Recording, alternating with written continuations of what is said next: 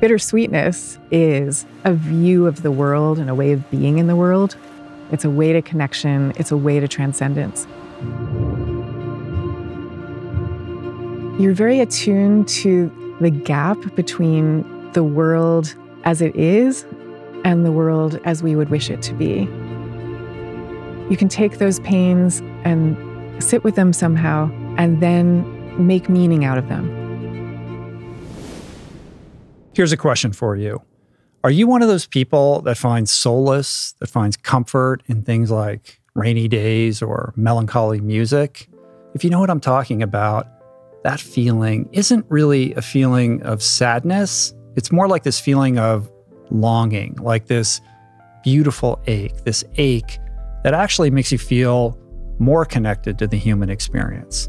So, what is that experience exactly? Well, today's guest, a former corporate lawyer turned author, wondered the same thing. And so she went on like this seven year journey to better understand it. The result of which is Bittersweet, her number one New York Times bestselling book that ponders this quiet state of being and why embracing it paves a true path to things like creativity, deeper connection, and ultimately transcendence. I think you could say that quiet states of being are Susan Cain's thing. They are her specialty because her first book was literally entitled Quiet Quiet, the Power of Introverts in a World That Can't Stop Talking. That book spent eight years on the New York Times bestseller list. Her writing has appeared everywhere. Her TED Talks on the power of introverts and this idea of bittersweetness have been viewed over 40 million times.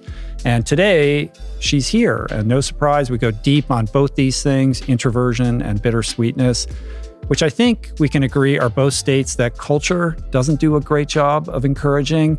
And yet, both are, are very powerful when recognized and when nourished as these vehicles for acceptance and for meaning and for connection.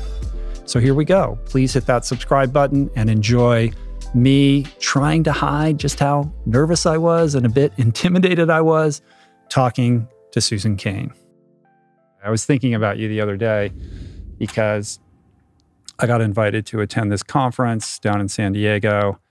Um, and uh, I was looking forward to it. Like, oh, I get to actually just relax and be an attendee as opposed to getting on stage. Yeah. Which is very, to this day, anxiety producing in me. And then at the last minute, um, it was being put on by Sanjay Gupta at CNN. And mm-hmm. he, he texts me and he's like, oh, by the way, I think it would be great if you did like a fireside chat with Lance Armstrong, like on Thursday or whatever. And, uh-huh. and, I immediately went from like thinking this was a little bit of a mini vacation. Yeah, to totally. Suddenly, like, oh my God, how am I going to do this? Like tormenting myself and being tortured over the, over the whole thing because no matter how many times I've graced a stage, it still feels very unnatural to me and is still very anxiety producing. Yeah, I know exactly what you're talking about. Um, it's like I mean, you you you probably know I used to have this huge public speaking sure. phobia. So for me, it used to be like, you know, a completely destabilizing event. So I'm totally past that now. Like that's overcome. Mm-hmm. But I still completely relate to what you just said. Like if I'm in the audience and going to the conference, like la la. Um, right. But it, waking up in the morning when I have to be the one on stage, it's just like that's not a chill morning. Yeah. Yeah.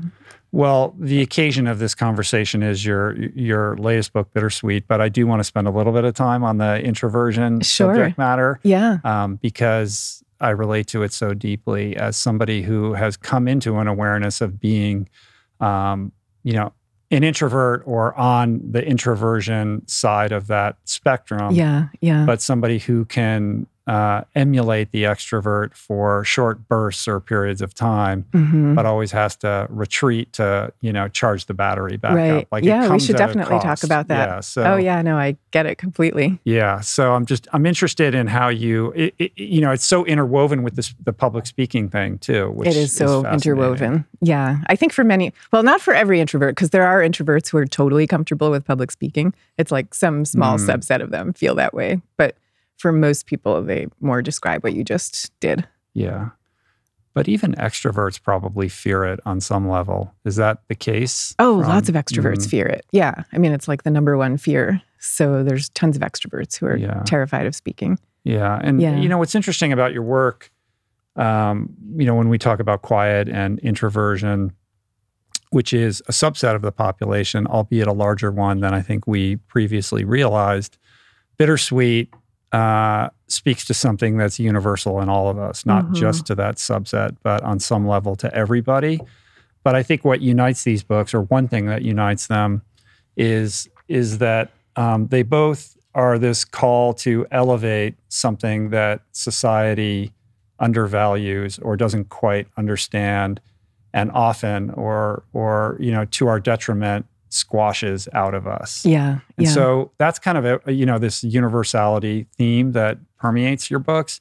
Like how does that like what is that sensibility? Like how did you come into that? I'm interested in like how you chose this subject matter and and why this has become, you know, your your calling. Yeah, absolutely. We can talk about that. Um, I, I, think about it also, it's exactly what you just said, like hidden superpowers. Um, and it's also about a different way of being in the world from the one that is celebrated, you know, in mm-hmm. the media, in celebrity culture, and all of it, um, in our work culture. I, I would say both of the books are about a different way of being in the world. Yeah. I mean, I'm just interested in in the genesis of all of this for you. I know it's interwoven with public speaking, and maybe we can begin with the introversion question, like this appreciation of introversion in yourself and this kind of quest or desire to dig deeper into what that means and how uh, what you discovered could be healing to the many, many people who are introverts and feel out of step with cultural expectations or a sense of who they feel like they should be or could be. Yeah, I, you know, I don't know where this comes from in me, but I, I would say when I wrote Quiet and when I wrote Bittersweet, I thought that I was writing two really different books. Mm-hmm. Um, but now when I look at them, they they both have to do with the way in which um, society has su- and cu- culture has such a specific and really rather narrow expectation of the way that we're supposed to be in the world. Um, and so both books are talking about a different way of being and one that is quite powerful or ways that are quite powerful in their own right um, but that don't get celebrated and mm-hmm. you know mm-hmm. and, and, kids from a very young age like in the case of introversion are, are taught you should be you know out there you should be dominant you should be um, loud you should be take charge you know uh, this, this whole constellation of qualities um, which are wonderful but there's another way of being that describes a third to a half of the population and that brings with it delights and powers of its own. And it just felt to me like, you know, a colossal mm-hmm. waste of talent and energy and happiness to be telling half up to half the population that you want to be that who you are isn't okay and you mm-hmm. should be mm-hmm. turning yourself in, into a pretzel to be some other way. Right, right. And and so how do you define that? Like how what is your definition of introversion? And I suppose the follow-up question to that is like how does that differentiate from someone who is shy or somebody who is insecure or has some kind of social anxiety? Yeah, so introversion is about I mean, there's a kind of popular definition, which I think works really well, of like, where do you get your energy from? Mm-hmm. You know, and a, a really easy way to think of it is to imagine that you're at a party and you've been there for about two hours and it's with company you're truly enjoying and you're having a good time. Um, but still, you know, the extrovert at the party, their battery is is charging up, and now they want more. Mm-hmm. Whereas an introvert's battery is probably draining, no matter how good a time they're having. And so there comes that moment where you just wish you could beam yourself home and be yeah. someplace else. And um, and so it really is this question of like eh, you know how much how much stimulation do you need in order to feel in a state of peace and equilibrium you know and for introverts they get very quickly to a place of too much mm-hmm. and for an extrovert you get very quickly to a place of too little you know like if things are too quiet not mm-hmm. enough is happening you feel like you know i better call a friend i better do something right um and all of that is quite different from shyness, which is more about the fear of social judgment, you know, and like um, a shy person looks at, uh, has an interaction with someone who might have a neutral expression on their face, and they'll tend to read disapproval into the neutrality and then be very upset about the, the disapproval. Mm-hmm. So, um, so it's a quite different state. Like you could be an introvert right. and not be shy, or vice versa. Um, but my work, I would say, focuses on both both ways of being because both ways of being show up very similarly in terms of behavior, and so they get judged in similar ways. Right. Right. Yeah. And and shyness being something that is mutable, but perhaps introversion or extroversion is more fundamental or constitution. Like, is there a mutability to it? Yeah, I don't know if I'd say that one is more mutable than the other. Um, I would say in both cases, there are temperaments that people are born with that predispose you in one direction or another. Mm-hmm. Um, you know, and then layered over the temperament, you have all kinds of life experiences and skills that you gain, and you know, it's all a big mishmash. But um, but there there are babies who are born um, into this world, and from the day they're born, you can test their nervous systems and see that they're more reactive to all different kinds of stimulation. Like mm-hmm. they'll they'll salivate more if you give them sugar water and put it in their mouths. And so the babies who salivate more when they're two years old and you put them into a play group of kids they've never met before, those are the babies who are going to tense up and and take longer to integrate into the group because they basically have a nervous system that is just reacting more mm-hmm. to new inputs and it makes you want to like slow things down and pause and check right. it all out before you're ready. Is that like when I think about that, the the word that comes to mind is sensitivity, right? Which is applicable to to bittersweetness too. Like I took yeah. the, the, I took your quiz. Yeah. I scored a seven point three, mm-hmm. so I guess I'm I, prone to some level of bittersweetness. But I've always thought of myself as maybe just a little bit more sensitive than certain other people. And sensitivity could be a word that you could apply to introversion as well. Like they're just more sensitized to their environment or I mean, how do you like? Is that a completely different way of thinking about this, or how does that? No, it's more like these are all really overlapping categories. They don't lay totally on top of each other, but they overlap.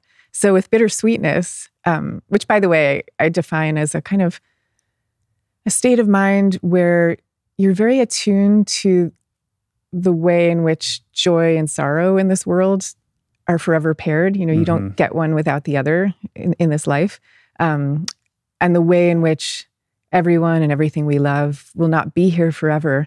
But that somehow what comes with that knowledge, there comes a kind of deep joy at the beauty of the world. So it's a it's it's mm-hmm. a like a real blend of all these um, deep instincts. And what we found, we, we have a bittersweet quiz. I say we because I developed it with Scott Barry Kaufman, right. who I know you know. Yeah, yeah, and yeah. Um, I'm seeing him on Friday night. Oh, that's right. Yeah, I know. I know. He actually was, was inviting me to come, but I'll be Aww. back home by then. Um, so Scott Barry Kaufman and I, and David Yaden, who's at Johns Hopkins, uh, we developed this quiz to measure how bittersweet you are. And what we found is that the people who score high on the quiz, like you, also score high on this trait of high sensitivity mm. that you're talking about kind of instinctively. And that trait is basically like the kind of person who just reacts much more intensely to everything. You know, like if you see the beauty of the, the these canyons out here, like you're going to really love it. Um, and if there were suddenly a loud and terrible noise, it would probably bother you that much more. Um, but and so many introverts are highly sensitive, but not all of them. So mm-hmm. we actually didn't find that there's any correlation between bittersweetness and introversion. That's the correlation is with sensitivity. Yeah, that's really interesting. Yeah, because you would yeah. think that they would toggle together. Well, it's like about 80% of highly sensitive people are introverts, but you could be highly sensitive and be extroverted also. Right. And then you could be introverted and not be sensitive. Right. So that's why I say these are like overlapping yeah, yeah, categories. Yeah. I, am um, interested in how we arrived at this moment in our culture, and you've written about this, where I wouldn't say we pathologize introversion, but we certainly don't we don't like socially select for it, right? We're introverts are sort of thought of as the people who are going to have a harder time in the workplace achieving. They tend to have more difficulty getting their ideas across because of the constructs that we've created around education and and and professional careers. Mm-hmm. And you've written extensively about like how we've gotten to this point and how we might rethink these cultural mores or priorities to better understand not just this dynamic between introversion and extroversion, but also like how to leverage the beautiful talents of the introverts so that they can thrive because just like extroverts, they can become leaders and they're often the people with the most interesting, creative, forward thinking ideas. Yeah. And so there's this real mismatch. I mean, when, when you look at who have been many of the most creative people over time, I mean, like psychologists have studied this, and you usually find people who are quite introverted or at least to some degree introverted because solitude is such a key ingredient of creativity, which is not something that ever gets talked about, but mm-hmm. it's true. Um, yeah, and for me, you know, I um I think I was just aware of this mismatch from a really early age because I come from a family of introverts. Like I don't think we have a single extrovert in my family of origin. And it was just really plain to me that the different things that my family members were doing in the world, things that I admired, were so related to their kind of quiet and cerebral way of being. You know, like I, I had a father who um, he was a doctor and a medical school professor, and he was amazing at what he did. And he was the one you'd go to if you couldn't figure out the diagnosis. He mm-hmm. might be mm-hmm. able to figure it out. And and he was also somebody who would go to work these long hours, and then he would come home after work and pore over medical journals, um, and like go to the medical conferences and sit in the front row and tape everything and listen yeah. to it over and over again until he'd figured it out. And it, it was things like that. This that I kept seeing in real life, and then many, many of the artists I admired and writers I admired. So just like people out in the world were so clearly contributing not in spite of, but because of their quieter way of being. And yet, as you're saying, in our mm-hmm. schools and in our workplaces, it's not thought of that way. Right. And so, what is the solution for that? I know you've you've done a lot of work around like reorienting the workplace and trying to find ways where we can you know foster you know that type of energy mm-hmm. and and bring it to the surface and in, in a way where it is respected yeah. Better. I mean, I do think as with everything that raising awareness is is the hugest step of all and it's actually been amazing to see how over the last 10 years how much more awareness there is and how much of a shift in orientation um, there is. You know, mm-hmm. so there are lots of workplaces that are like thinking about this in really conscious terms, and um, they have working groups formed around it, and you know, they're thinking through different ways of hiring and promotion and that kind of thing. Um, and you also see schools doing things like um, like rethinking the way kids are giving given feedback. You know, because so many kids are told, um, you know, like Sophie is doing great in class, uh, is doing great academically, but she must learn to speak up more in mm-hmm. class. And getting that feedback compared to Sophie is a deep thinker, and when she contributes, every, everybody turns around to listen because because she has so many in, interesting insights to add. Right. That feels completely different to Sophie. And I've gotten a lot of letters from so the Sophies of the world telling me of how painful it is to them when they get the first type of feedback. Right. You know, they feel like their teachers don't respect them at all. So I am seeing those kinds of changes. We are seeing those kinds of changes. And that's really gratifying, even though I think we have a long way to go. Mm-hmm, mm-hmm. I just know but, for myself when I think about open plan oh, open yeah. floor plan workplaces or you know co-working play like that just that sounds terrible to me. Like i want a womb. I want to shut the door. Yeah. I don't want any windows. I don't want anybody to ever knock on that door or for the phone to ring. Like my great ambition is to be left alone. And when i can inhabit that place i then can do the work that i feel compelled to do my best work. Um, but anything that involves collisions or like inter is like just sounds like a nightmare to me. And when I see that trend of like these open floor plans, like that doesn't seem conducive to the introvert like being able to express themselves optimally. Oh my God, yes. Yeah. And in fact, I discovered this because, um, well, you know, like you, I used to be a corporate lawyer. So uh-huh. I had come from this world. I assume your firm was like this, where you know everyone had their own little office. Yeah. It was almost like a dorm room or, or a do- dormitory right. with everybody in their, their office. So I kind of thought that's what work looked like. And then I started researching quiet. So I decided I was going to like plop down in Silicon Valley for a while because I figured there would be many introverts there. Mm-hmm. And I was expecting this kind of introvert nirvana. And I got there, and all these people who I was interviewing, they're all coming up to me and kind of whispering, like, this open office plan that I'm in is a disaster and I can't concentrate. Like right. all, everything that you just said. Everything's overwhelming. Everything's overwhelming. Yeah. And they were like, I can't tell my boss. This is why they're whispering. They're like, I can't tell my boss because if my boss heard me saying this, they would think I'm not a team player. They think I don't like my colleagues. And it's not that. It's just it's everything you just said, mm-hmm. you know, mm-hmm. about the, the best way that they would feel would focus and be in a state of equilibrium would be in private environments. So so they start asking me like is there research that i could show my boss to just let them rethink this a little bit? And i started looking and and this was already this was like a long time ago.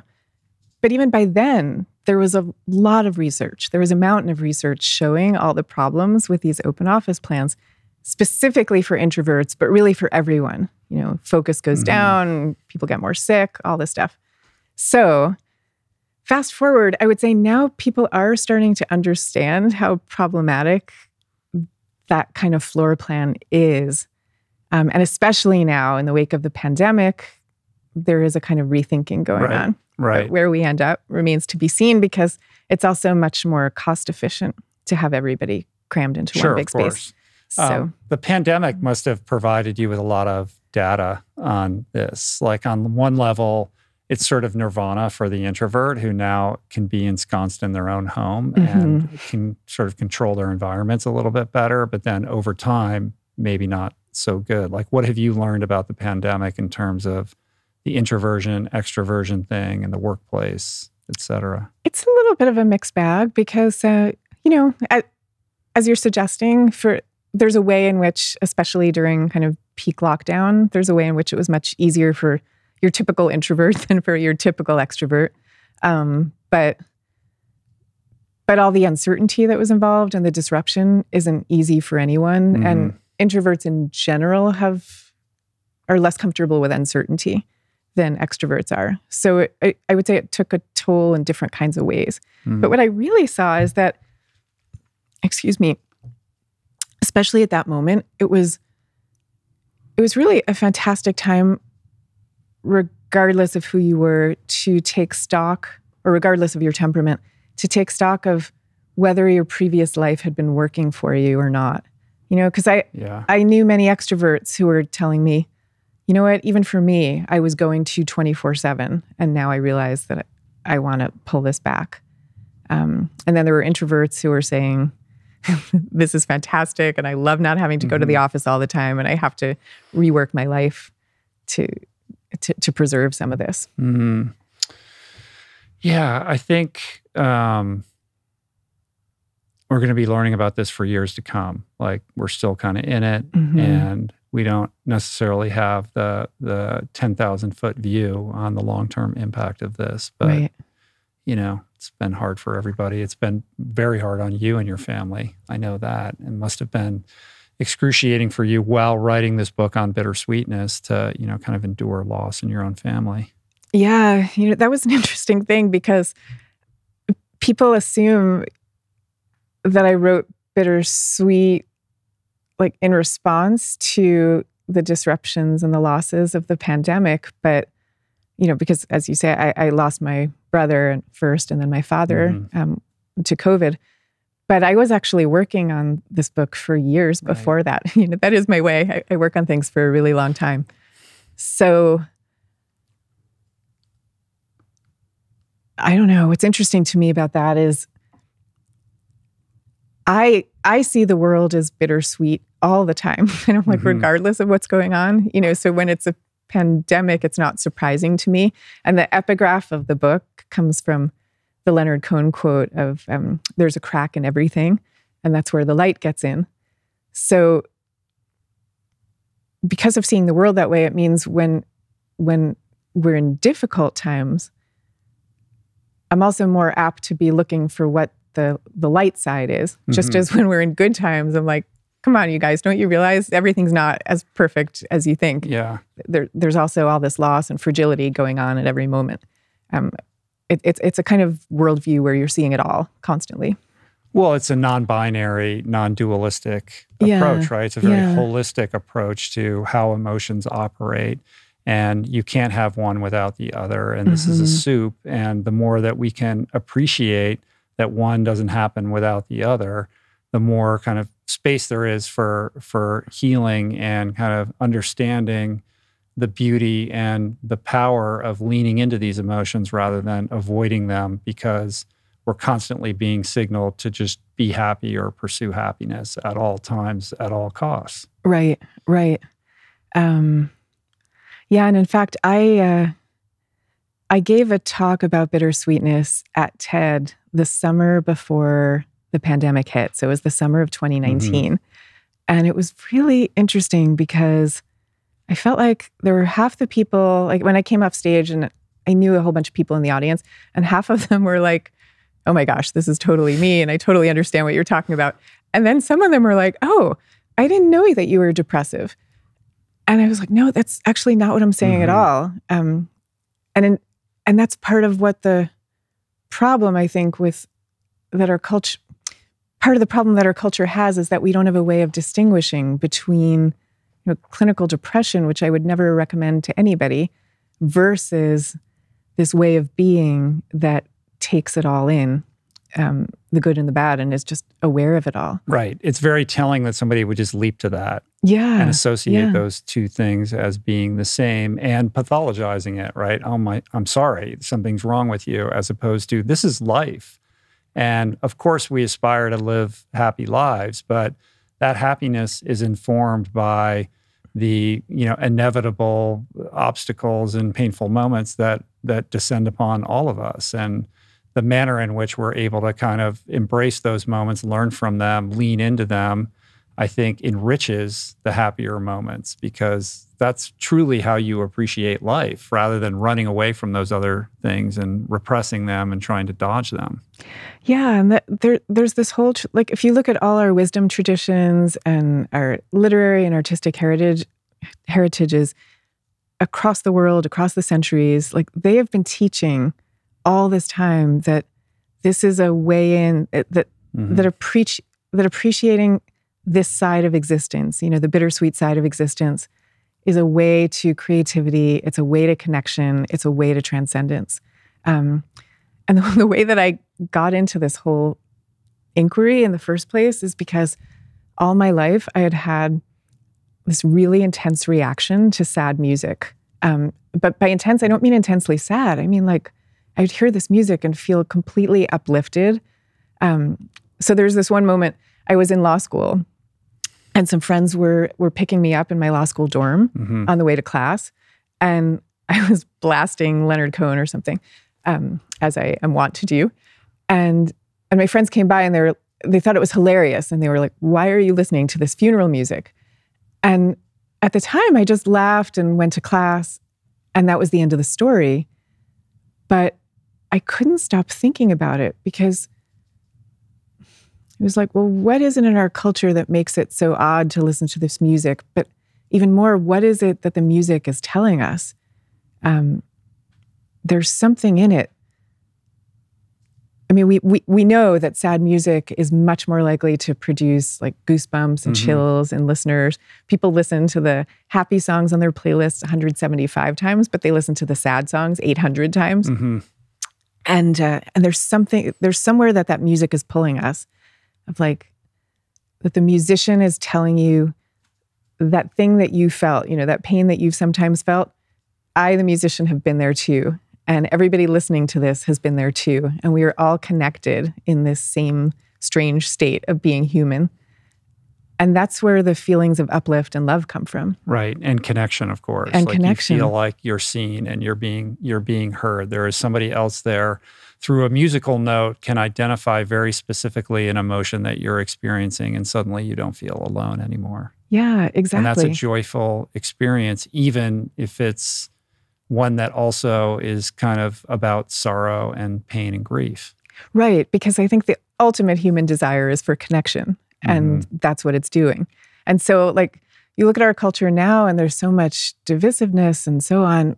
And I don't think that's unrelated to the way in which we're supposed to present so cheer so cheerfully and so successfully all the time, um, that means we're not really able to connect with each other. Right. Right. Because we're fronting and we're wearing that mask. And yeah. We're trying to, you know, appear or present in a certain way to be approved of or to be received in a manner that, you know, we would desire. And that ultimately just alienates us from one another.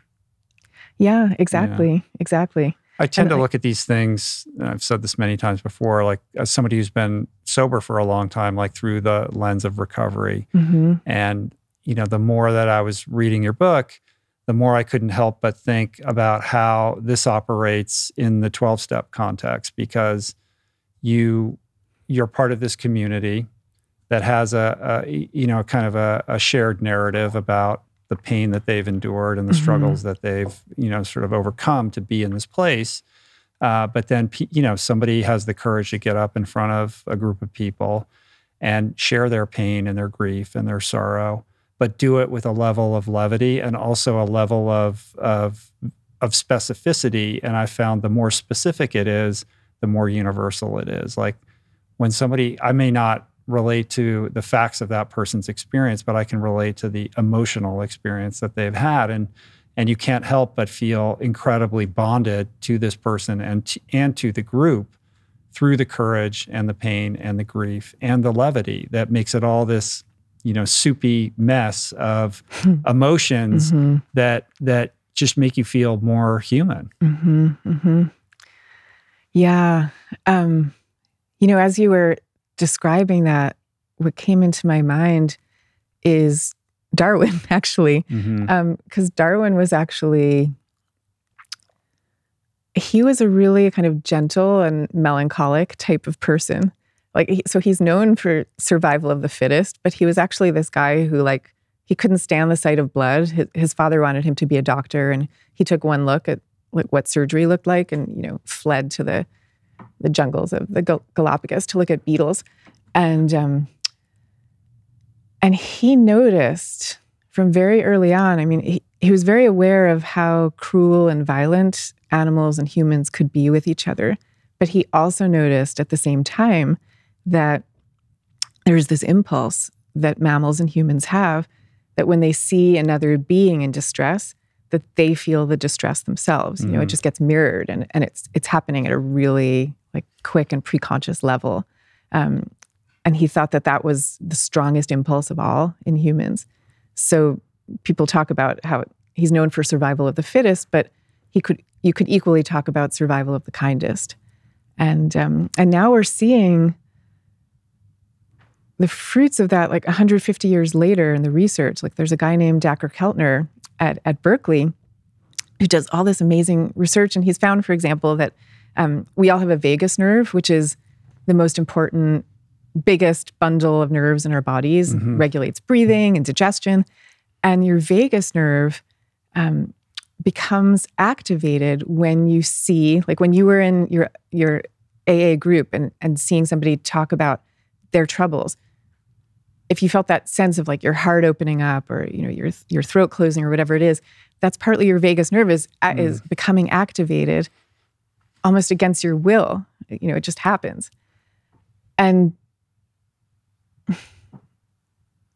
yeah, and, and so to cut that off from each other, you know, the ability to relate to each other right. that way is cutting off one of our most basic ways of bonding. Right. So there's there is this implicit like evolutionary advantage, right, to indulging in in in this kind of emotional landscape.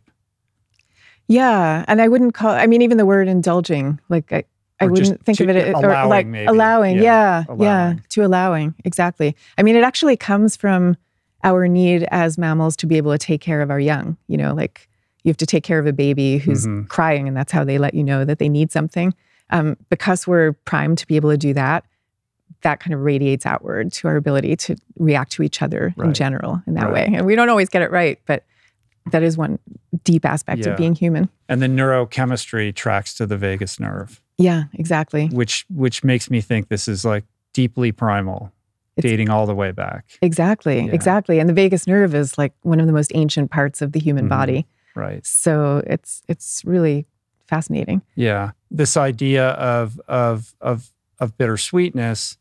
Um, I think most people think of it as an experience, but you talk about it as like a state of being. So distinguish those two things and how you arrived at that point of view. Yeah. So, I mean, it is an experience in the sense of, you know, like the moment where you're walking your child down the aisle or something. That is a quintessential bittersweet experience. But there's also a view of the world and a way of being in the world that's quite bittersweet. Um, you could call it melancholic, except that word in our culture is sort associated with clinical depression, yeah. and and that's not really what it means, or or it's not the way I'm using it. Um, so the bittersweet state of being is much more about like this sense of it, it, it's a sense of that awareness of joy and sorrow and of fragility. Um, Aristotle, 2,000 years ago, asked the question of like, he asked this question of what, why is it that so many of our great poets, philosophers, and politicians all have a melancholic temperament. Like, what is that? So it's something about being attuned to the gap between the world as it is and the world as we would wish it to be. Mm, mm. You know, there's like, it's like the, the emotional DNA of humans is like we come into this world with a sense that there is a more perfect and beautiful world that's out there somewhere to which we belong, but we somehow find ourselves here instead. Right. And so it's not it's it's this the yearning and the long the longing, like the idea that things could be better. It's not a despairing per se, but it's a it's a sense that like we're in a certain place, it could be better and and the melancholic impulse is built out of like how to get from one to the other. Yeah, and it, it's like it's the heart of our creative impulse. You know, it's like a feeling of like, how do you get closer to that perfect and beautiful world for which mm-hmm. you are mm-hmm. yearning? You know, so that the word longing, like it literally means to grow longer and to reach for. So there is a sense in which we're all reaching to get to this other place, yeah. and that's what that's what propels us forward. And like historically, we've always known this. It's really only recently that we've forgotten it. So, like with the Odyssey, Homer, um, that that whole adventure, it starts with Homer who's on a beach weeping for his homeland because he's so he's so homesick, and because he's so homesick, he goes out into the water and has this adventure. Um, it's the same thing with all our religions, you know, like we're longing for the Garden of Eden, we're longing for Mecca, we're longing for Zion and and all the religions that like the teaching is that it's through the longing that you get closer to the divine mm-hmm. itself. Mm-hmm. Mm-hmm. So it's an incredibly generative state. Right. And it's also tempor it's about temporality as well, right? This idea of fragility and nothing lasts forever and mm-hmm. we're only mm-hmm. here for a short period of time. And that ticking clock, you know, kind of a la memento mori, yeah, um, yeah. is is sort of a driver behind this state as well. Absolutely, absolutely. I actually tried practicing memento mori um, uh-huh. while I was writing the book. So, like memento mori, it, it basically means remembering death. You know, mm-hmm. as a way of like understanding how precious life is, and that idea comes to us from many different traditions. Um, so I tried it, and I actually found it to be so incredibly helpful. Um, and the the place I really noticed it is like my kids at the time were pretty little and we had this bedtime ritual that we were doing. And and it was an amazing time of day and it was like reliably the time that they would open up about whatever was on their minds and it was just great. Um, and i also was bringing my cell phone into the room while i did that you know while we would do bedtime i would say to myself you know like they may, not be here tomorrow you may not be here tomorrow you have no idea mm-hmm. and just that thought would completely extinguish any desire I had to look at the cell phone. It was like it was gone, and mm-hmm. I, I, stopped bringing it into the room completely. Um, and it didn't feel, it didn't feel sad. It didn't feel depressing. It was just a reminder. Right.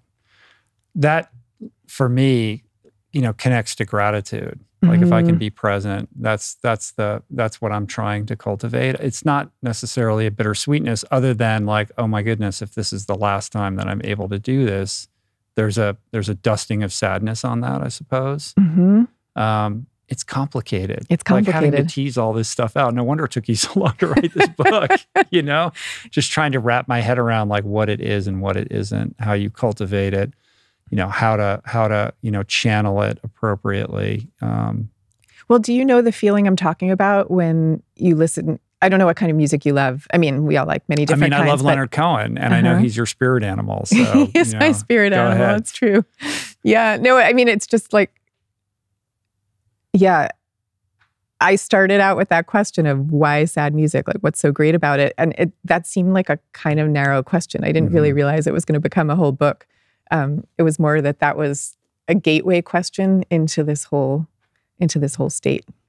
Right, but if you look at the the musicians, the great poets, the writers, all of the you know painters, the ones that seem to resonate the most are the ones who are have the facility to uh, the capacity to kind of take these seemingly conflicting emotional states or the polarities of them Mm-hmm. and weave them in some way that makes sense to us as humans, but perhaps transcends our ability to like articulate. And I think when you see it, it's sort of like when you hear it, you know it. When you see it, you know it. yes, You're not sure why. Like, why is it that the the minor key or these certain songs and the way that they're constructed um, cultivate that in ourselves? I don't know if there's neurochemistry on that or any science on that, but it really is like I know what that is. I don't know why I know what that is. It makes me feel this certain way that is, you know, perhaps you know seemingly off my optimal state and yet there's a comfort like you talk about rainy days and things like that like you kind of want to languish in it yeah. There's a comfort and there's a there's a transcendence in it. Mhm. With Leonard Cohen, the very first artistic act that he took was when he was nine years old and his father died. And um, and he he took one of his father's bow ties and he wrote a poem, and he buried the bow tie and the poem in the garden, in the backyard garden of, of their family house, and that was his first artistic act. And it was like he was kind of repeating that act again and again throughout his career. There's a kind of like taking something painful and then turning it into something else. Mhm. And I think that's like the real in terms of how to live, that's the real insight that this whole that this tradition gives us because it's kind of saying to us these moments are going to come, these pains are going to come. And you have two choices of what to do with them. You know, you can suppress it in some way and inevitably you're going to take it out on yourself in the form of depression or addiction or whatever it is, or you're going to take it out on someone else, Mhm. abuse, passive aggression. Um, or you can take those pains and sit with them somehow and then make meaning out of them and transform them. And that's something that we do so naturally. You know, like like after 9/11, you suddenly see all these people signing up to be firefighters. You know, like the the spike of applications, it goes way up.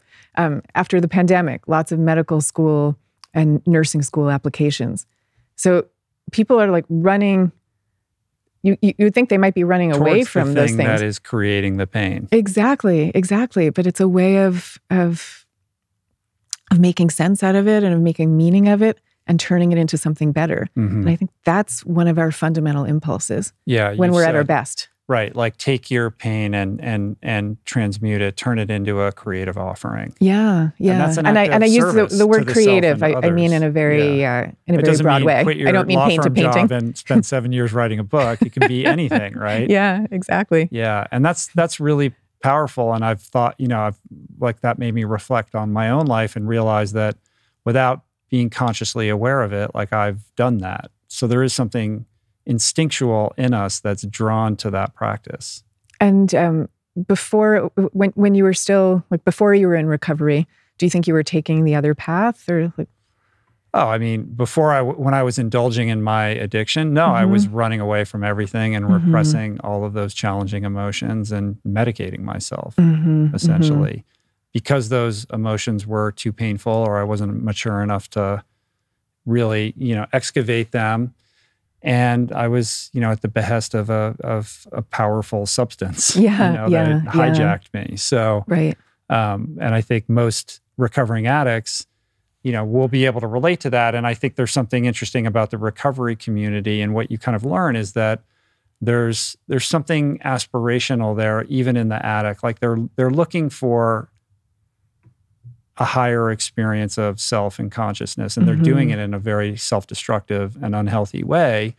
But at the very core of it is like there there should be something better, or I'm in pain and I'm reaching for something else. Yeah. You know, and and then when you get sober and you can continue to reach in a healthier direction, people in recovery, like I know so many people who are just un, they're just amazing human beings eh, because they've learned to take that pain and turn it into some form of creative offering um, that is healing for not only themselves but for a lot of other people. Prophets walk among us. As a writer and podcaster for nearly 10 years, I've become more convinced than ever that our world is populated by scores of beautiful and brilliant people who have amazing stories to share. Those that we don't know who can teach us something new and leave us all the better for the experience of their sharing. And so I've dedicated my career to tracking down the most compelling prophets on the planet, going deep with each of them on my podcast to elucidate the best of what they have to offer and to sharing the insights gleaned for the benefit of all. But the podcast is not the only medium by which to share their stories, which is why I'm proud to announce the release of my new book, Voicing Change Volume 2. More than mere words on paper, Voicing Change is a physical manifestation of the magic, inspiration, and timeless wisdom that transpires each week on the Rich Roll podcast.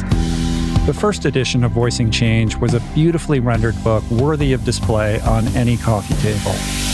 And Volume 2 follows in that tradition by showcasing even more of my favorite conversations in an elegant publication replete with interview excerpts, essays, and stunning photography, making for an exquisite companion to the first volume or a satisfying standalone work. Picking up this book allows you to revisit the wisdom of your favorite everyday prophets and physically interact with the life changing ideas contained within. Voicing Change Volume 2, available now while supplies last for a limited time.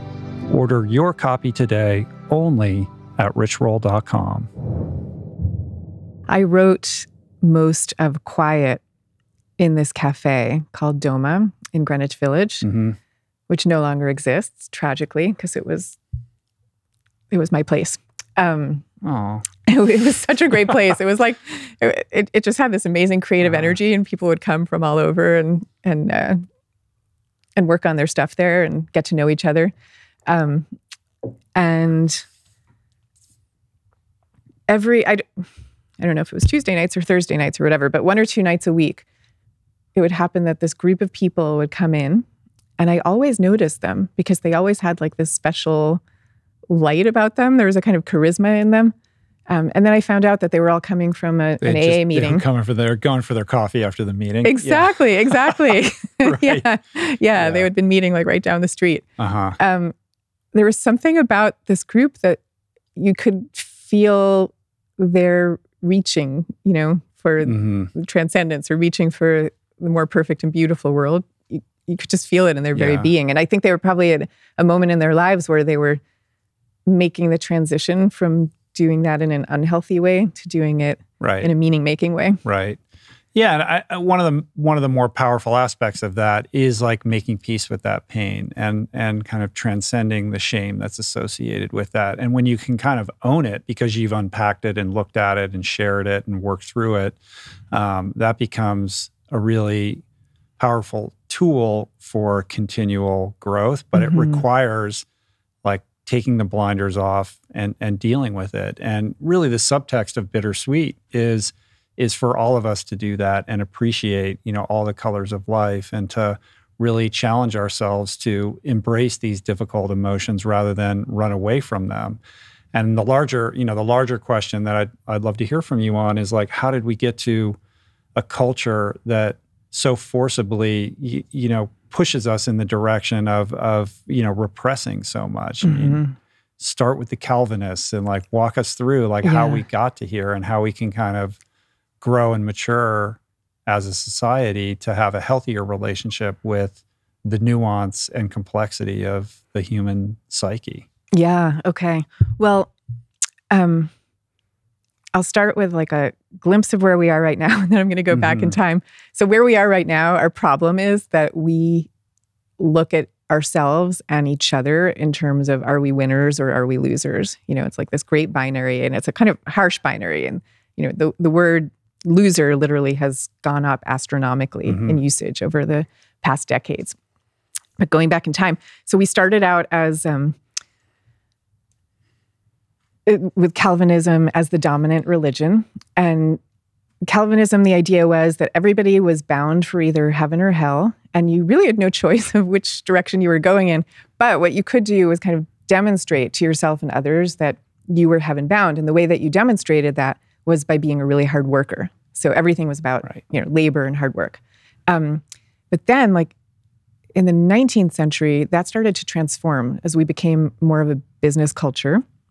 It became more about like how success, not so much how hard a worker are you, but how successful are you at business or how much do you fail in business? Mm-hmm. And then the question starts getting asked well, when you succeed or fail, what is the reason?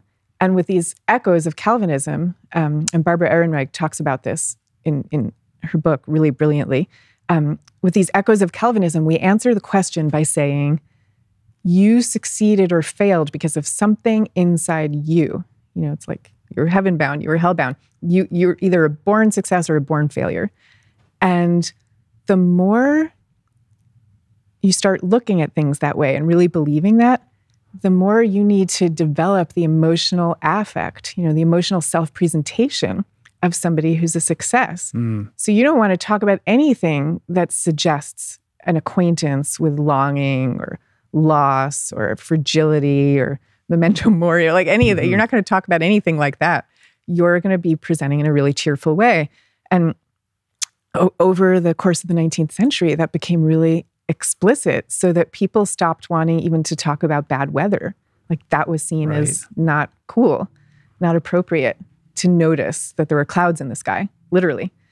Um, and that that's kind of increased over time. So then you get to the the Great Depression in 1929, and you have all these people who are losing all their money because of external forces, and some of them are committing suicide, and they're described as losers um, in the journalism. They're described right. as losers, and that's the heritage that we're still living with now. Um, there's, I think, a deep fear that people have of being a loser, mm-hmm. you know, mm-hmm. and a deep need to be a winner instead of like, instead of seeing the actual truth of the situation is which is that in all lives there are successes and failures and wins and losses and that's just how it is. Right. It's so interesting that it emanated out of this heaven hell binary. Yeah. Um, winners losers heaven hell rich poor these binaries that put us in buckets and allow us to judge each other yeah, and to judge ourselves. And our, yeah, to judge ourselves more more detrimentally, right? Yeah, I mean the fear when, when people start feeling like they're getting closer to the loser side of that divide, mm-hmm. I, I think the the fear and the shame in that is overwhelming. But has that not it, even expanded? Because now, as we have moved even more towards this um, self-help obsessed culture, it's a it's a happy sad thing or a you know depressed happy thing. And we're afraid of people who are demonstrating challenging emotions and we're sort of repelled by them. Like we move mm-hmm. away from the person who's grieving or the person who is depressed because we don't have a comfort level or a vocabulary for how to communicate with them. And there's this sense that it's contagious, right? Like yes. you can't be associated with that. That's got to go over there. And even our relationship with death, to bring memento mori up, like yeah, yeah. it's in a hidden corner, and we don't talk about it, and we pretend it's not going to happen to us, and um, we've sort of stripped it from our our kind of daily experience of life, despite its inevitability. And there is something pathological about that. Oh yeah, and we. Uh, you know, we allow people to grieve for a certain amount of time, but then after that, there's Get something. over it. Yeah, Yeah, it's, It's like really socially unacceptable. And that's because it's making me uncomfortable that you're still grieving. Like I don't really want to be around that. You know, I think it's that, and I also think there's something. There's a way in which we judge it. You know, it's there's something distasteful about it. There's Um, it's, there- it's I mean, yeah, like think of the admiration that we have Mhm. for people who, you know, they're like moving forward in a healthy, supposedly healthy way. Like even in the the most recent version of the DSM manual for um, in psychology, they've now limited the amount of time for grieving. I'm forgetting now the exact amount, but it's like a very short amount of time. And then Mm. after that, you're considered to have a diagnosis if you're Right. still in a state of grief for a, for a loved one. Right. That's so weird. Yeah. And like in Bittersweet, I tell the story of, do you know Susan David? I do. Who I love? Yeah. Yeah. So she's a dear friend of mine. She's a great psychologist. And her work came out of her experience um, when she was 14 and she lost her father to cancer. Okay. And Susan is a really cheerful person by temperament. That's Mhm. like who she is. Um, so, because of that, she felt all this cultural pressure. And because she's so cheerful, she put on a big show for the whole year after her father died. She like went to school, acted as if nothing was wrong. Everyone would say, Are you okay? She was like, Sure, I'm fine. Um, but in the meantime, she's off in the bathroom vomiting up her lunch every day. So that's how it was coming out Mhm. for her. And she would have kept going on that way until in her English class, she had a teacher who had also lost a parent at a young age. And the teacher hands out blank notebooks to the class and says, and, and she looks Susan straight in the eyes and she says, I want you to write down what you're truly feeling. And no one else is going to read it except me. And I'm hardly going to comment at all, but just write the truth, write the truth of your experiences. And Susan said that moment for her, it was like a revolution in a notebook. Because it was like the only time she had been invited to actually tell the Mhm. truth. Um, and that was her healing. Mhm. And like that's what that's what we don't do. Right.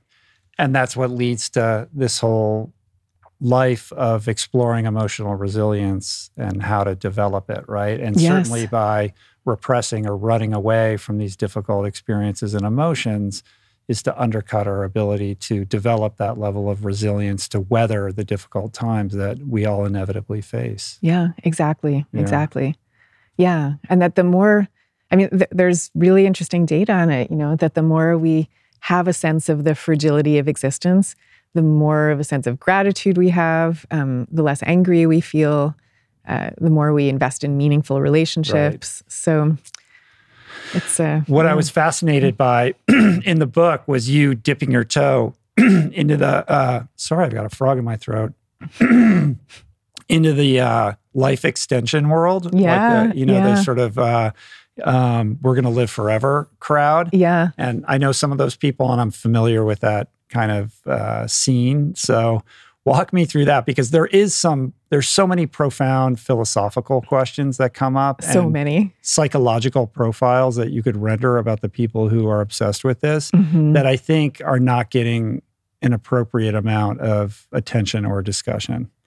Yeah, I agree with you. And in fact, when I went to one of these conferences, I was just assuming that there was going to be all kinds of philosophical discussion Right. about whether this was a good idea or not, or like what the No, what it's the downsides totally were. Pollyanna on that. oh my God, Yeah. no, no, no. It's mu- yeah. I, I mean, it's much more like, thank goodness everybody here is beyond all those questions. We don't have Mhm. to talk about that. We know it's a good idea. That's really the vibe. Yeah.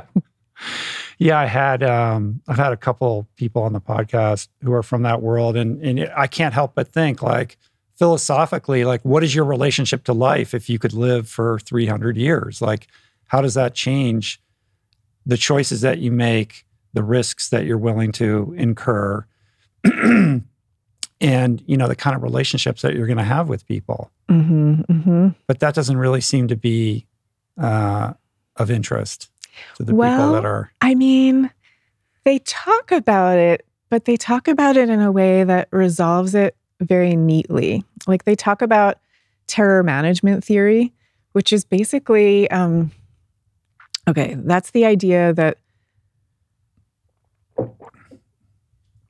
that when we are, there are all these studies that show that when we're reminded of our mortality, that in the immediate aftermath of being reminded of it, we become much more like focused on our on our in groups and hostile to out groups. Mm. So there's like studies where they'll remind people of their mortality and then ask them how much hot sauce they want to put on the food that they're going to give to people in the opposing political party, and people will put on too much hot sauce because um, they they get into this sort of anti outgroup mode. Right. So okay, so the, they take that and they say, well, this means that when we solve the problem of mortality, we're also going to be solving all our other problems of conflict and war and everything else. Because it's like if we could solve this, we'll solve everything else.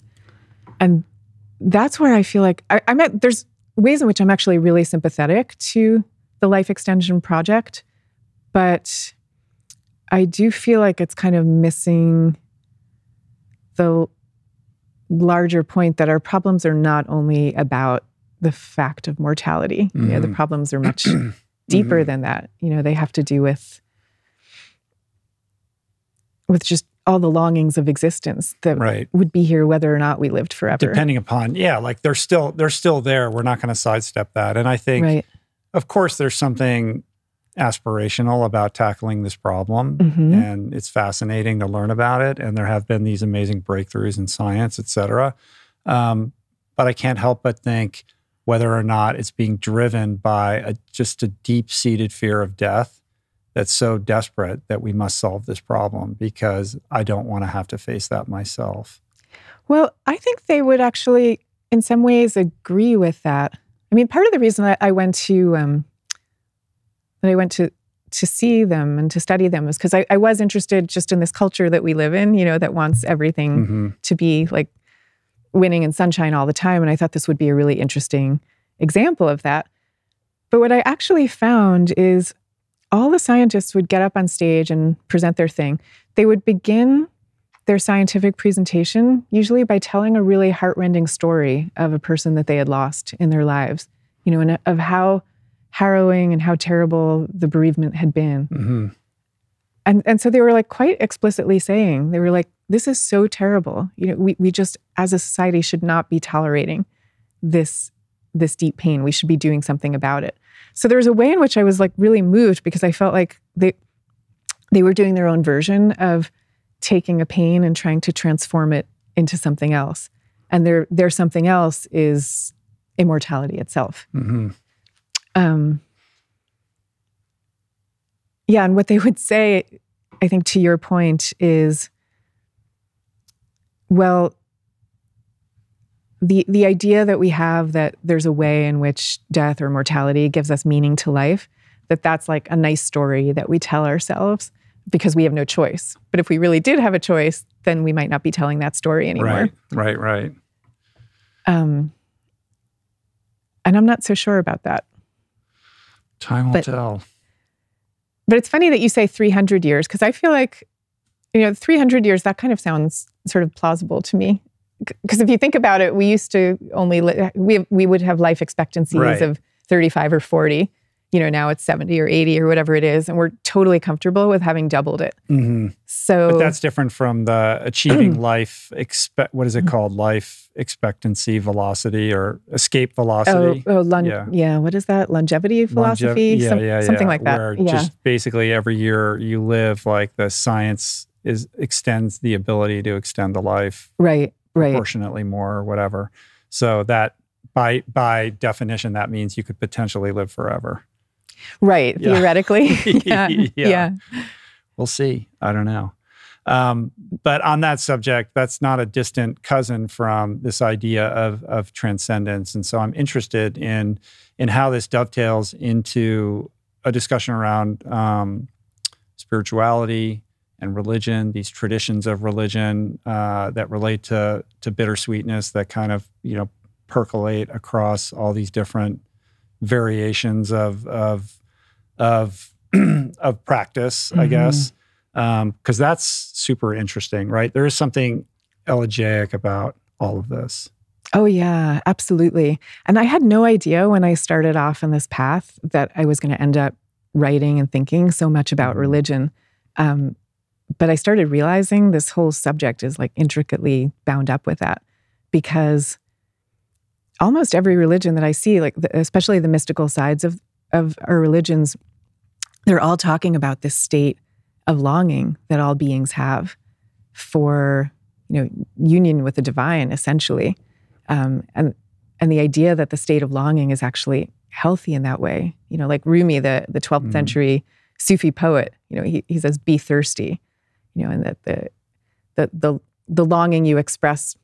Well, he has this one poem where he's talking about um, about a man who's praying to God, to uh, to Allah, and he doesn't get an answer back, and so he becomes kind of bitter and disappointed, um, and he stops praying, and then um, and then he falls into a sleep, and he's not sleeping well, and Khidr, who's the guide of souls, comes along to him and says, "Why did you stop praying?" And the man says, "Because I never got an answer." And and and the guide of souls says to him, "The longing that you express, that is the return message."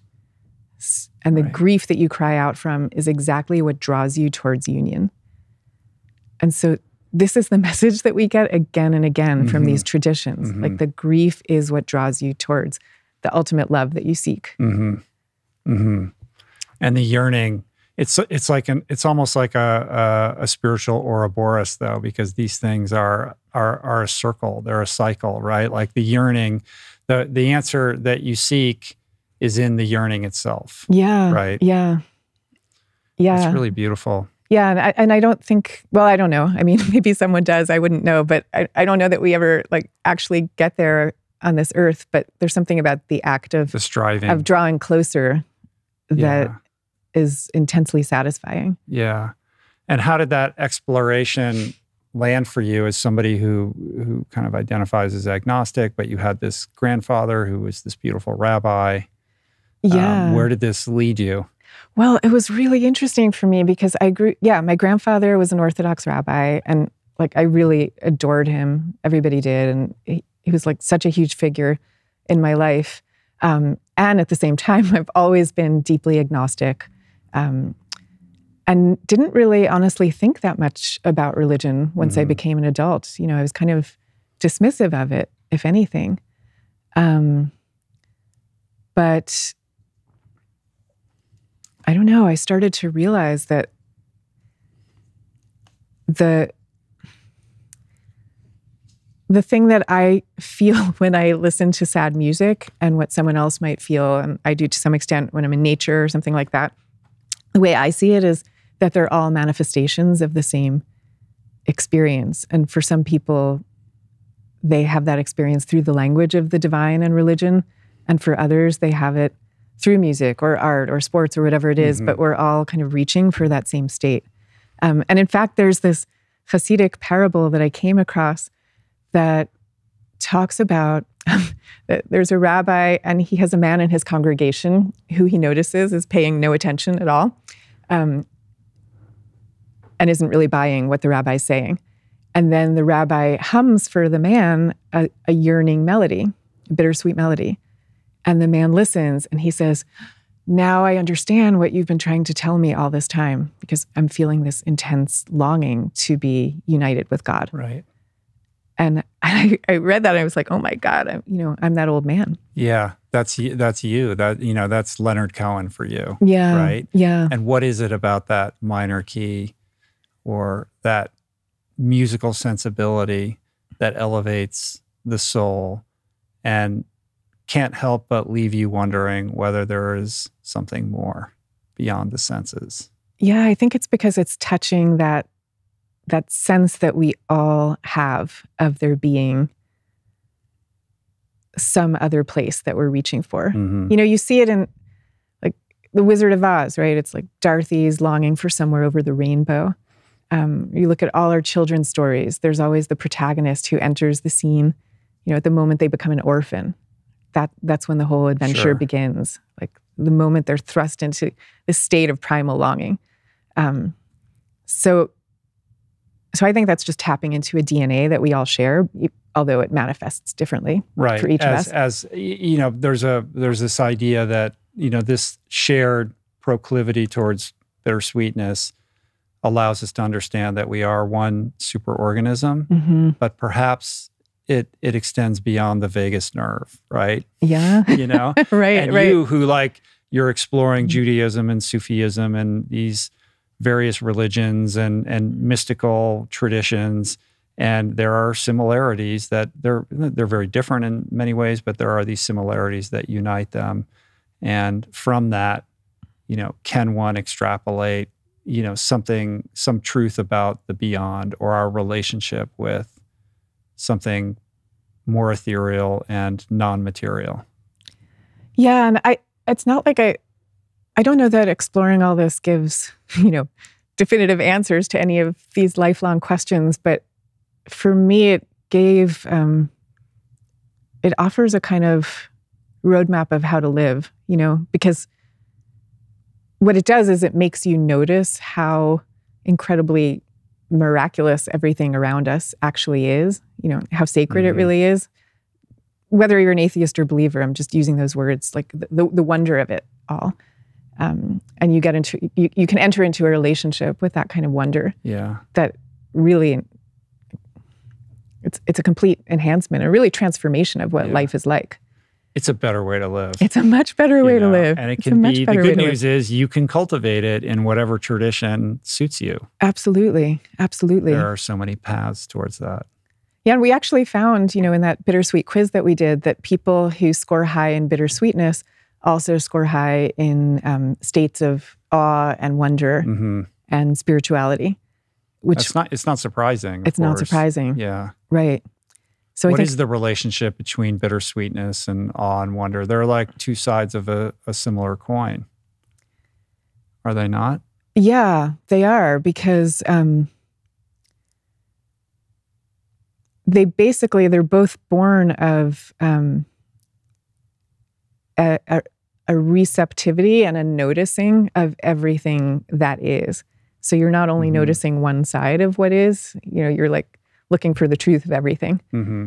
And that's what gets you into that state. Yeah, I think when I think of awe and wonder, I think of being present. Like if you're you if you're present enough and you just see the leaf on the tree, you know that could inspire awe and wonder. But it mm-hmm. requires like a level of attention that that that kind of eludes, you know, the way that we live our lives, right? Like you have to really, really be practiced in that or habitual in it. There's another parable that I came across that I found incredibly useful as a way to live.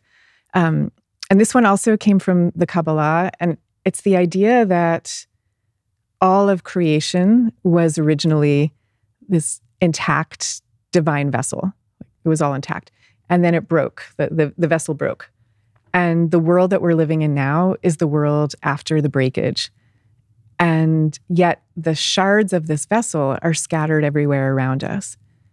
And so, what we can do, we're, we're still living in the broken world, but we're living in a world where you can bend down and pick up these shards of light. Mm.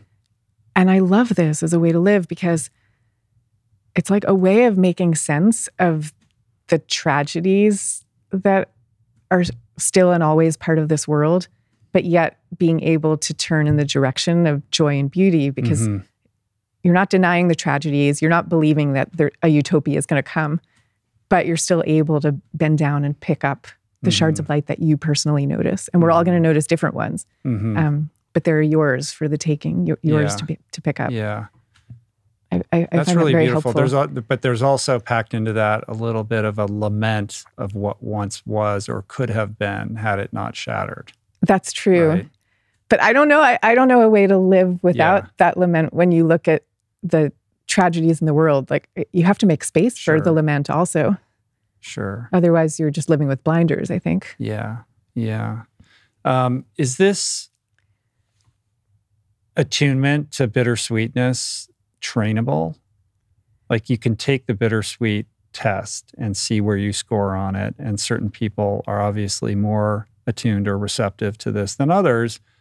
But to the extent that appreciating bittersweetness or cultivating it or or kind of synthesizing all the different colors of your experience into some kind of creative offering and making sense of it for yourself seems to be something that anybody can do mm-hmm. and you know, even if they score lower on that on that test, they could increase their score and and perhaps like um, you know elevate the richness of their life experience in, in so doing yeah so there are going to be some people who are born into the world with that high sensitivity trait and they're probably going to tend in this bittersweet direction mm-hmm. from the beginning then there's going to be a lot of people who just by virtue of life experience come to more of a bittersweet awareness over time Right. You know, once once they things happen in their life, things happen, jar them out of their lack of empathy or whatever it is. Right. Yeah, yeah. exactly, exactly. Um, and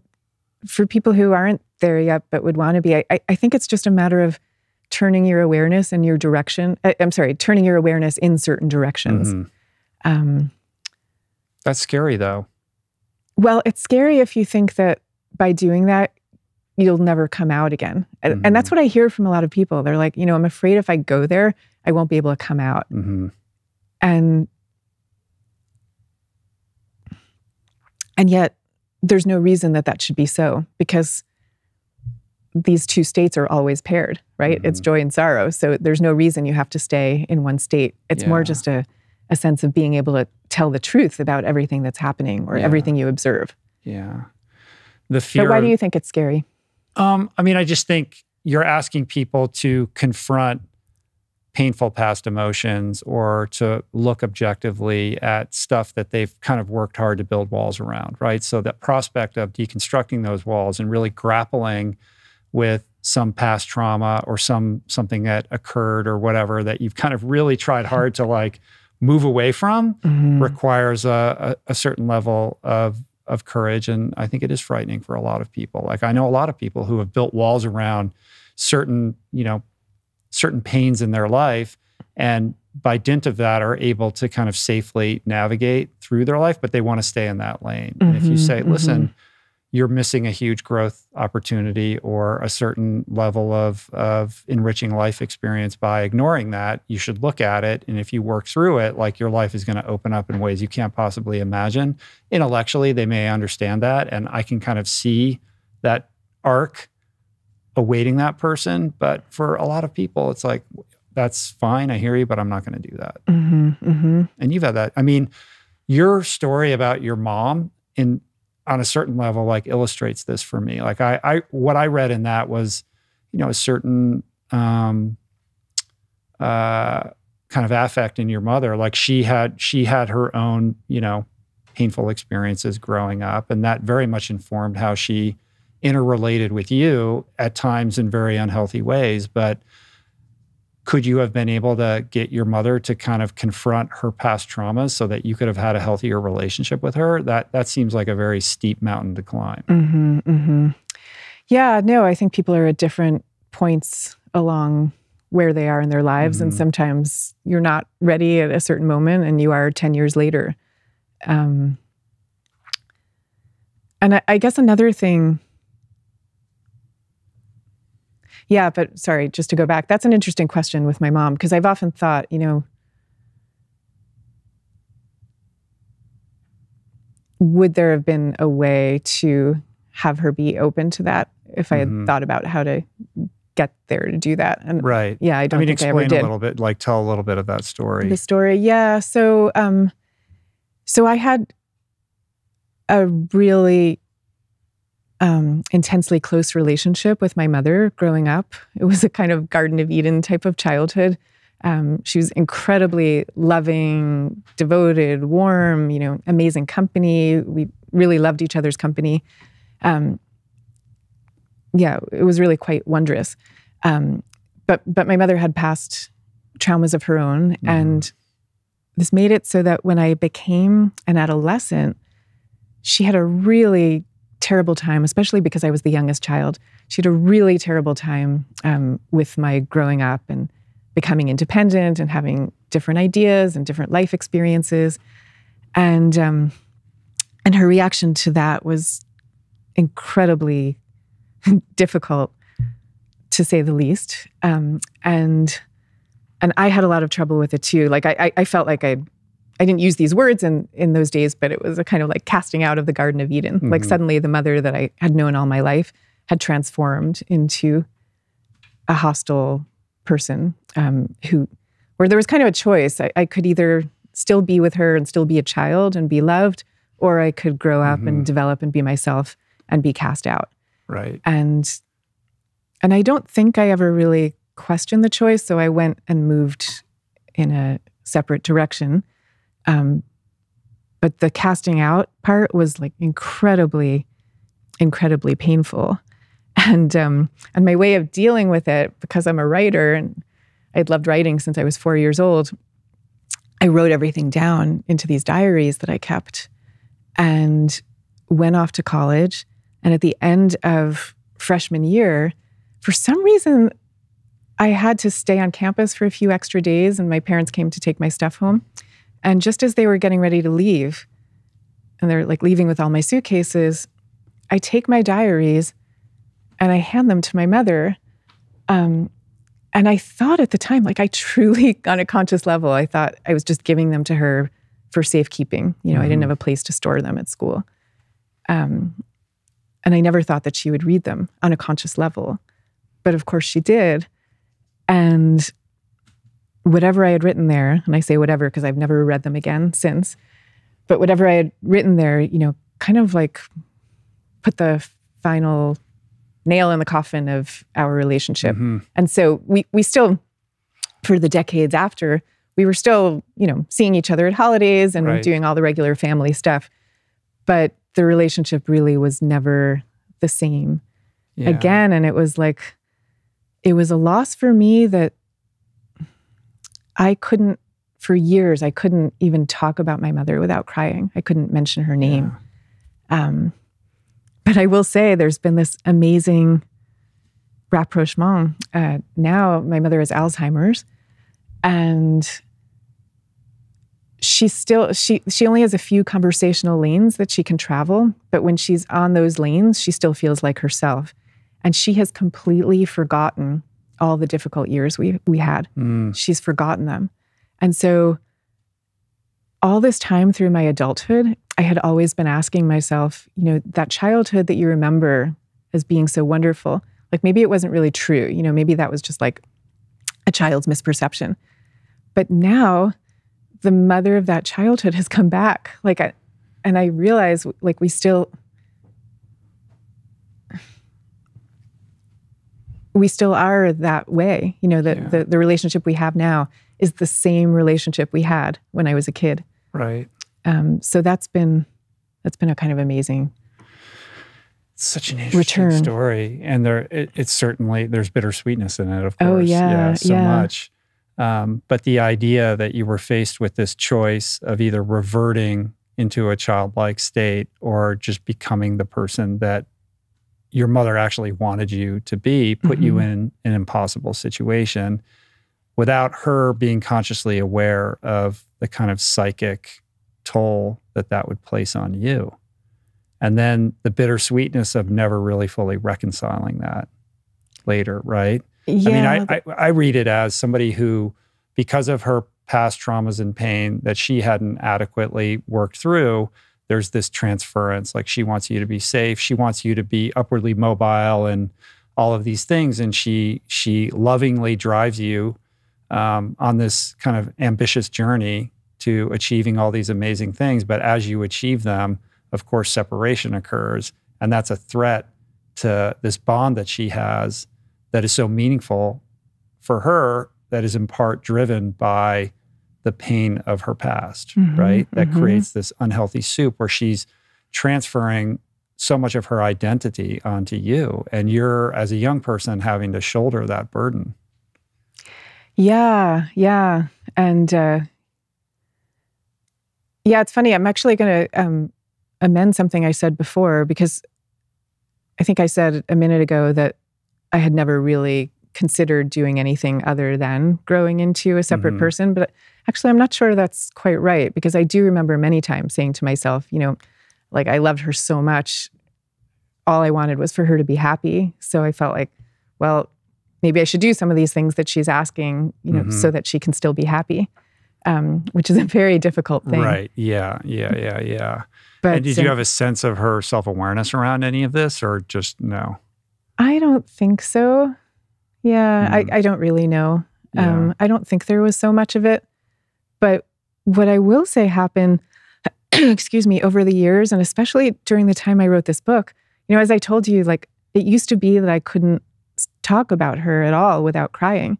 And I, I wrote her story. I wrote the story in the book. Mm-hmm. Um, and I was like really worried about what was going to happen when I would go out and do interviews about the book. I thought I, I, won't be able to speak about this without breaking down. And, and and despite everything I'm saying in the book about being comfortable with all our emotions, I didn't really want to do that. Right. So, um, so I didn't know what would happen.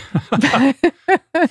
but but I, I I remember talking to somebody about this dilemma, and he said to me, you know, talk to me when you're done writing the book because you might actually resolve mm-hmm. Some of these issues. And at the time he said that, I thought, oh my gosh, that's never going to happen. Um, but in fact, that's exactly what happened. There's just a sense of peace that that I now have mm-hmm. um, with everything that happened, and I don't know, just so much love for her and understanding of it all, and like wishing that it had been different. But excuse me, but um, I don't know. It's just a complete reconciliation. Well, that's the that's the beauty and the gift of reckoning with your bittersweetness, right? Yeah, like you yeah. can have some kinship with Leonard Cohen, who I'm sure similarly was having, you know, uh, conflicting emotions and was in some sort of pain, and he was trying to work through it. So what does he do? He writes a song about it, right? You write a book about it, and in the process of writing this book, you find a way to heal and make peace with yourself and your loved ones and come out the other side like a more complete human. And that goes to the very thesis of the book, which is channeling your pain and and you know turning it into a creative offering. So it's like a it's a it's like a, a you know a meta example like it's all very meta in that regard, yeah right yeah you know? yeah yeah no that's true yeah. um and and I do want to be careful to say like for anybody listening again that we use that word creative in a really general way so it's not like you have to go and write a right. book or mm-hmm. write a song or you know like be a grammy award winner or something it's not it has nothing to do with that mm-hmm. it's more just about going through a kind of transformation of like taking the pain and transforming it into yeah. something of meaning yeah well just yeah. confronting it and walking walking with it and finding a way to come to the other side through whatever you know modality suits you yeah, right? it's funny. I've been trying to write this story for so many years. Like I, I, said this in the book, I first started writing about it when I was in college. And my creative writing teacher said, You're way too close to this story. You should like put it in a drawer and not take it out again mm-hmm. for 30 years. Um, so it's it been a long time. and now it's 30 years later. you're too yeah. close to it. Yeah. But you're still so close to it. You know, but you were you're you're distant enough from it that you could write about it with some level of objectivity. But the fact that it that it creates so much emotion in you, you know, it's still very present with you. Yeah, it's still very present, mm. but like with a lot less turmoil than mm-hmm. there used to be. Like I experience very little turmoil now talking about it because yeah. I, I really do feel such a sense of resolution between us and between like my relationship to my mother in my heart is right. very different. Yeah, yeah. From yeah. what it had been. Yeah, beautiful. Yeah.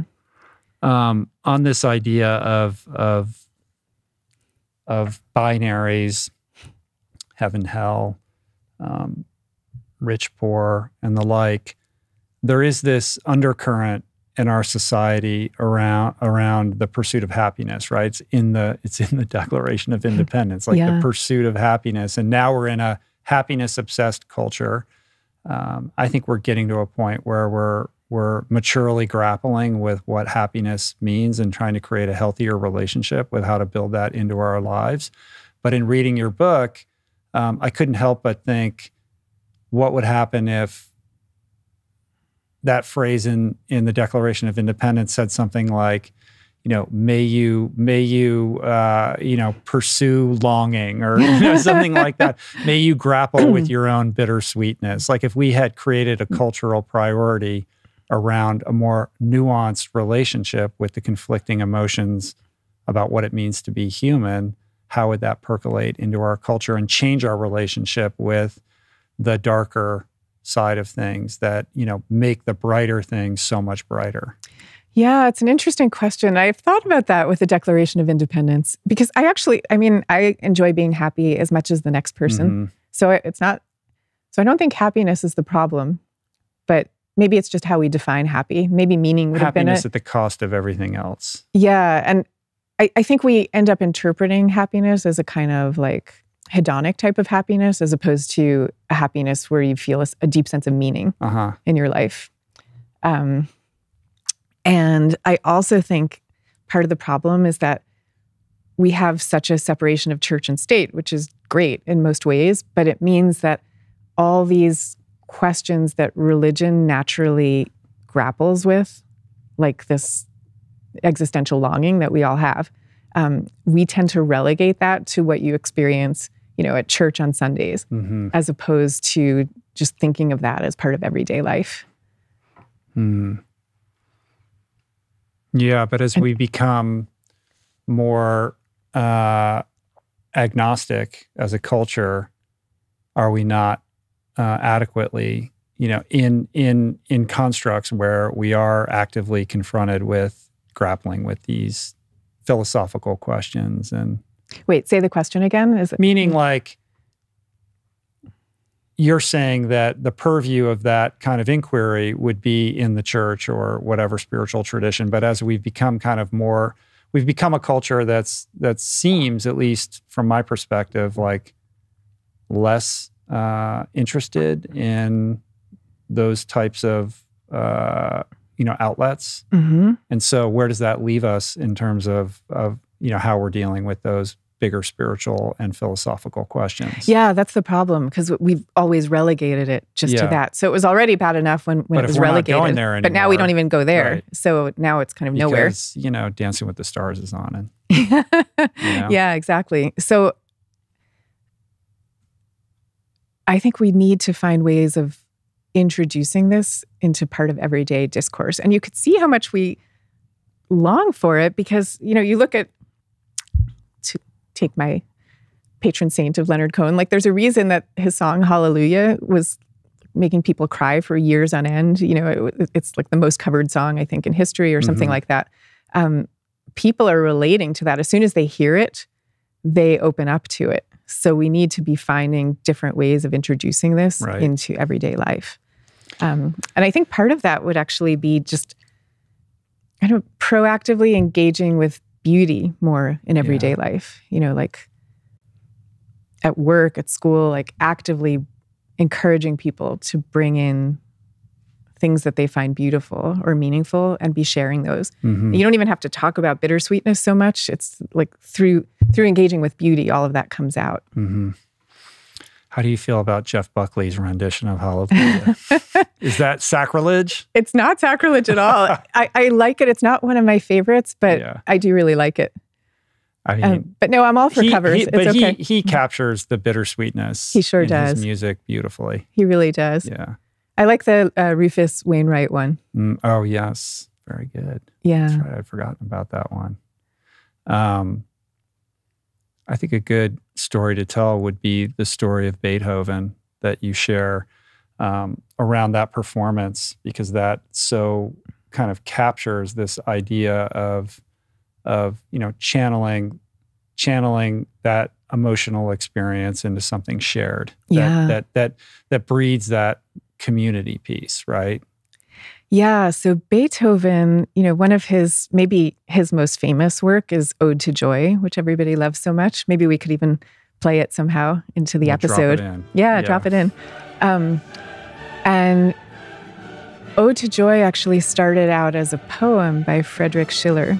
And, uh, and Beethoven loved this poem because it expressed like all these ideals of love and brotherhood that were really important to him. So he labored for years. I want to say it was 30 years, maybe mm-hmm. getting that wrong, but like forever, um, to set this poem to music. But during the time that he's working on it, he starts to lose his hearing and he has all these other personal troubles. Um, and by the time, by the time of the debut performance, after all these years of creating Ode to Joy, he's now totally deaf and yet he's like desperate for this music to be performed the way he hears it in his head. And so he stands on stage with the orchestra with his back turned to the audience and he's facing the orchestra and he's like throwing his body around trying to direct them to play the music the way he sees it in his mind. He's, he's standing next to the conductor. Um, and because he doesn't see the, because he can't hear any of it, he doesn't even realize when the music is actually over, when they're done playing.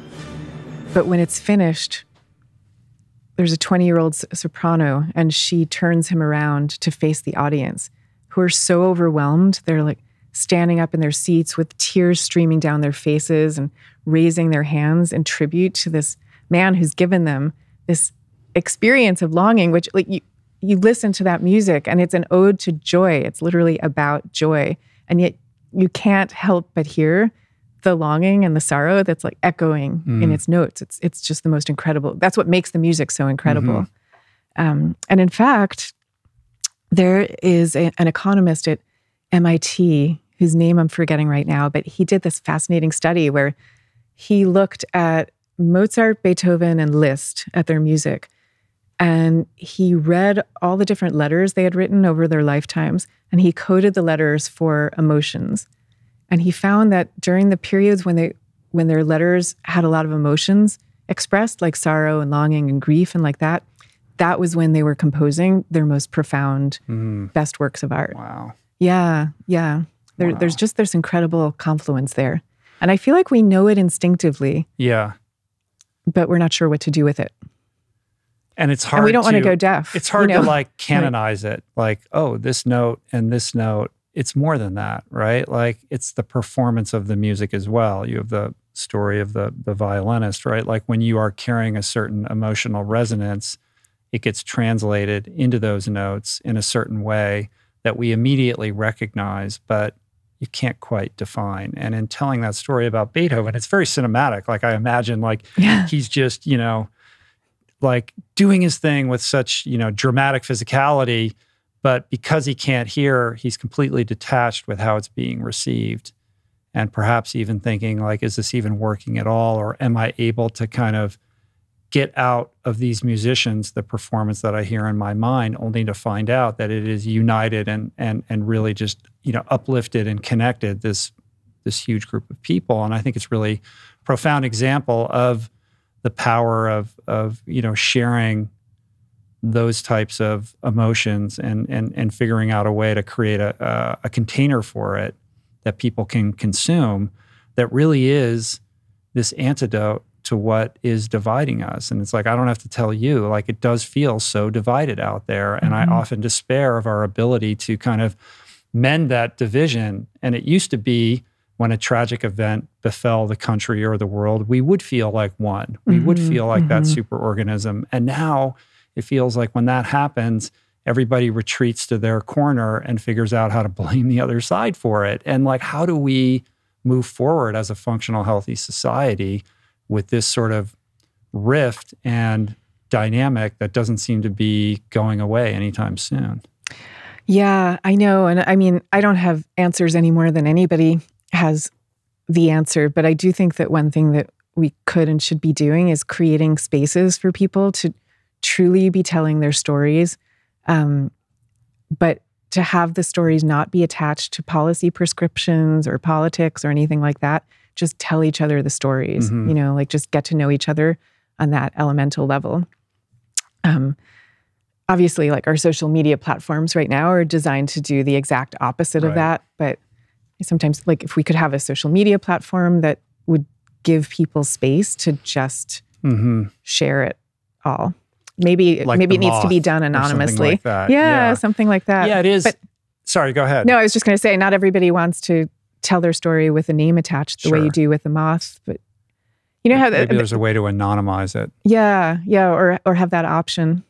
Yeah, I think there's something about storytelling, like honest, open, vulnerable storytelling, that is akin to this notion of bittersweetness, and, and perhaps it emanates from the vagus nerve as well. Like when we hear somebody share a story, and we have the sense that that story is true to that person and honest and authentically rendered, that also breeds connection, right? Yes. Like whether Yeah. it's bittersweet or not, like just the storytelling as a vehicle for connection and also learning. Like, like it doesn't have to be prescriptive, but it's more effective than a prescription when whatever that that notion is is kind of wed into the narrative. Like we as human beings are able to kind of synthesize that and then ultimately kind of uh, hold on to it and perhaps even practice it in our lives in a way that uh, is very different than if somebody said, "Here's the five things that you need to do today." Mhm, We remember mhm. the story,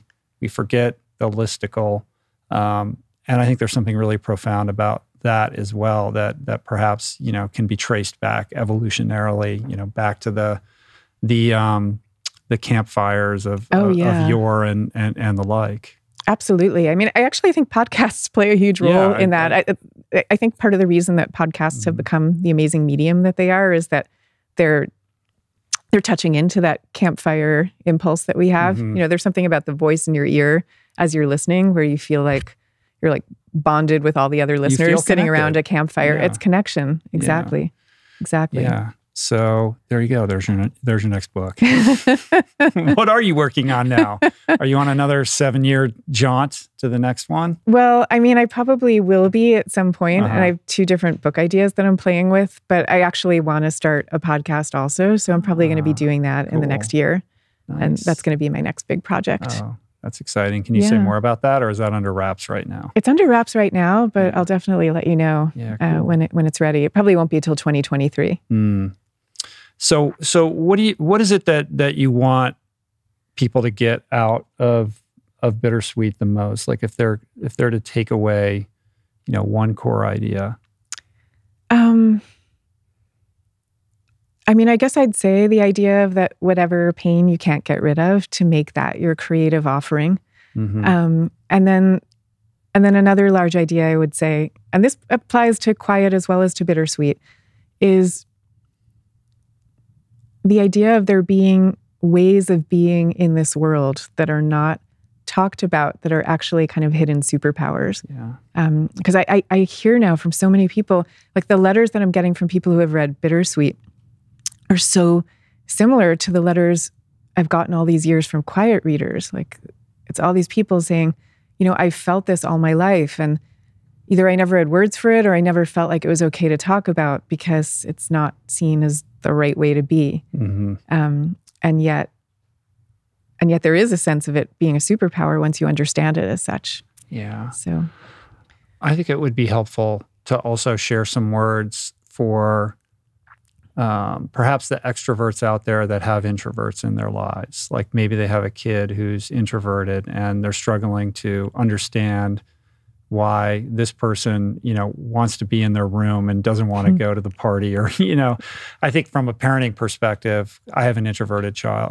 a- a child who's very introverted and has been an education and a learning experience to like, like, even though I have introverted proclivities, I still have some extra, you know, it's sort of like, I don't want to judge my child because this is my child's choice or this is what, um, you know, this person needs to, you know, recharge the battery in terms of like how we parent and how we think about supporting the introverts in our life.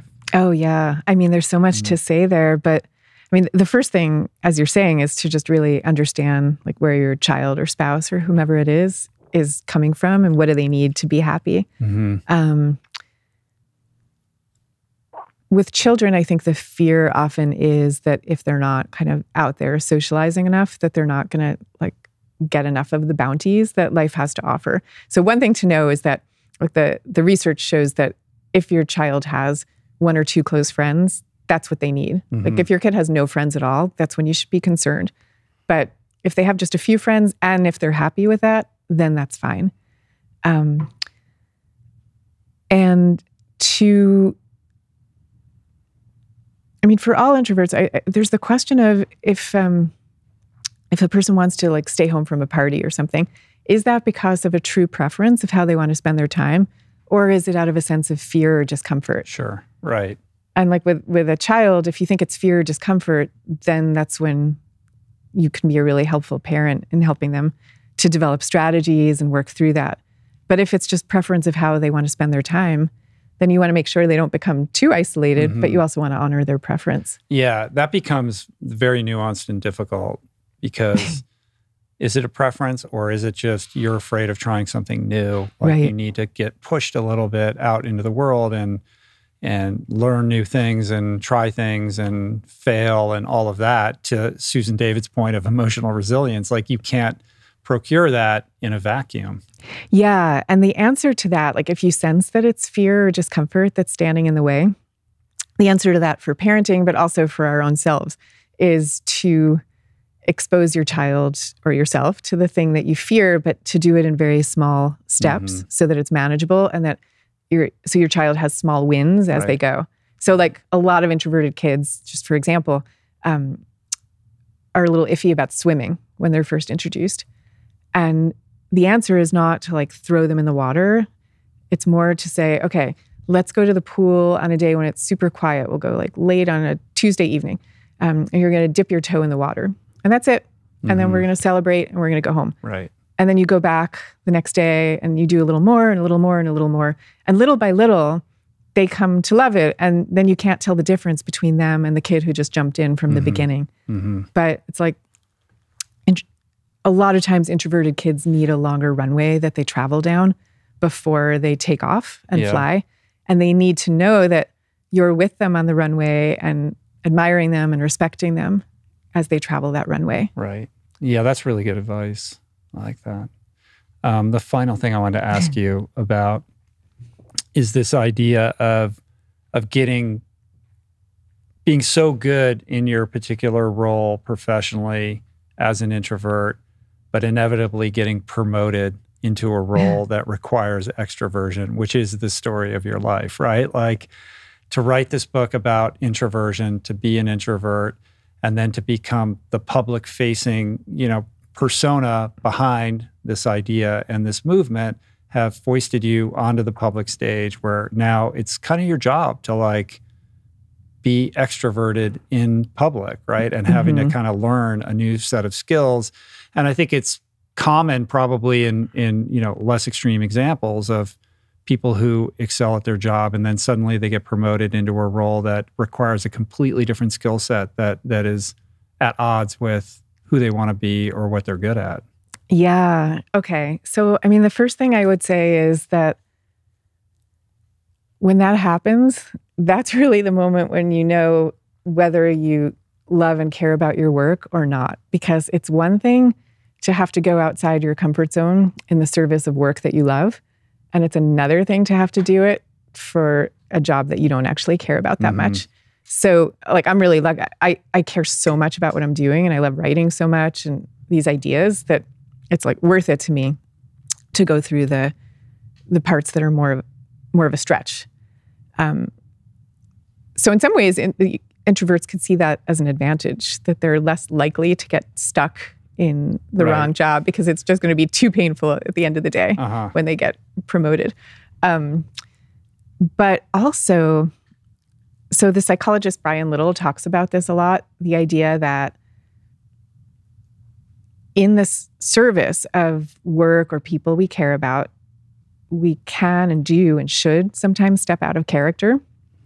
But you have to do it in a way that honors your own self and you have to give yourself lots of restorative niches mm-hmm. to come back so like I, I do that all the time like when i go out on trips and i'm giving talks or interviews or whatever i spend so much time afterwards ordering room service yeah. and just like chilling I, in the hotel Yeah. yeah yeah yeah it's and, like you can't wait to get back to the hotel room and be alone Yes. Yeah. Yeah. And I really like honor that time um, mm-hmm. and I guard it really carefully. Mm-hmm. Um, and then I also, you know, I feel like I'm lucky because I also get to spend a lot of time doing my work is just like sitting in a cafe writing.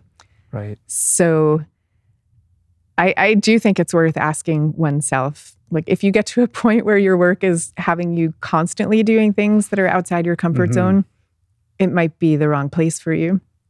But if you can get it to a manageable place and it's in the service of something you care about, mm-hmm. then it's mm-hmm. okay. Yeah, if if you're if you being like the this public facing person on the subject of bittersweetness or introversion meant meant that um, you couldn't write anymore because now you're running a large organization that's trying to foster these ideas. That probably would not be something you would want. that would be too high of a cost. Way too right? high of a Even cost. Even if it would make you super successful and push these initiatives through and change the world, it's not within your constitution to do so. Yeah. And having a, that self awareness to recognize that. Exactly. Yeah. Exactly. Yeah. Not your const. Not. I feel like it's not my constitution. Yeah. It's not my calling. It's not what I feel like I should be right. doing. Um. Yeah, but no, I, I am super careful about that when mm-hmm. I when I go and do these public facing things. Yeah. And is it is it non anxiety producing for you now because you're so practiced at it? So it's not like extremely anxiety uh-huh. producing uh-huh. anymore the way it used to be for me. Um, really not at all. I feel like I've overcome that. But I would still say that, you know, a morning in which I am looking at a day full of publicity versus a morning where I'm looking at a day full of writing with my laptop. Those are completely different, different, mornings. Yeah, two course. different experiences. Yeah. I don't yeah. know. Maybe everybody feels that way. Um, yeah. But I feel like it's probably more intense. For, the, the difference between those two is probably more intense for me. Right. Like I think I read actually that you, am I right about this? That you spend your mornings doing exercise and yeah, writing and contemplative things. the first part of the day. Yeah. Yeah. And then you do podcast interviews and things like that later. Right. And when I read that, I thought that's really interesting. I don't think that would work for me because if I knew that I had the public facing side happening later in the day, I don't know that I would be able to enjoy as much uh, the writing it, it and spoils, contemplative stuff. It spoils the other stuff earlier in the day. Yeah, yeah. yeah. That makes sense. But it yeah. sounds like you don't experience that. Um, no, it it it definitely like public speaking creates a lot of anxiety for me. Um, but like doing podcasts, less so. Mm-hmm. Um, and it's something I I you know, I could do it in the morning too, but I just I need that time for that's that's a that's a recharge the battery time, right? Yeah, like if yeah. I don't recharge the battery, then when I come in to do this other stuff, like I'm just not at my best. Mm-hmm, so mm-hmm. I have to protect that time for self-care. And that doesn't mean that I always do it perfectly or that I don't make exceptions because life intervenes and all of that, but I try really hard to like that's that's how I preserve you know who I am. I mm-hmm, think mm-hmm. the whole thing, and and it's a privilege. Not everybody can have that, right? Know, Absolutely, and I recognize that. Um, but it's pretty fundamental to kind of how I do things. Yeah, no, that makes yeah. sense. Um, and I have my my uh, you'll appreciate this. Like my home office um, is a shipping container uh, that we kitted out into like an office. So it's just like a writing office with bookshelves and things like that. And that's where I kind of can work at home. So it's customized on the inside and, you know, has an air conditioner and all that kind of stuff. But mm-hmm. it's literally a shipping container, right? and when and and uh, when we were kind of figuring out how to tweak it and customize it, um, the kind of contractor that we hired to like help us with this. He's like, well, you're going to want a big window and you should do, and it should be like this, let all the sunlight in. I was like, no, I don't want any window. Like I want it to uh-huh. be like, I literally want to have the experience of being in the womb, like yeah, to feel yeah. like on some level, on a primal level, like that's what makes me feel safe and protected. Yeah, no, I totally know? understand. And then he still put a little window in and then I hung a shade over it and so I could black it out. Anyway. I hope that uh, office designers are listening to that. Because they're all like, you're crazy. You're going to want this. And I'm like, I'm telling you, I'm not going to want it. All right. Well, any last thoughts for the introverts out there grappling with bittersweetness? Before we wrap it up. yeah, I think we can wrap uh, it up uh, really just to understand um, I don't know, just that my view of life. I don't know if I've said this already, so edit this out if I have. But um, lay down the truth. my life philosophy is that there are different kinds of superpowers that exist in this world, and usually we're each only granted one or two of them. You know, and like we know this mm-hmm. from all the movies, right? There's like lightsabers and and then there's like Spider-Man and Incredible Hulks and all these different ways of being powerful in the world. And so for people who are born with more of a, a bittersweet way of being or an introverted way of being and a sensitive way of being, these are these are superpowers that where you're like in the stage of the movie, you're like Luke Skywalker before he knows that he has the Force, mm-hmm. basically, because mm-hmm. your culture isn't teaching you about the superpower that you naturally possess, but it's there. It's just yours to discover.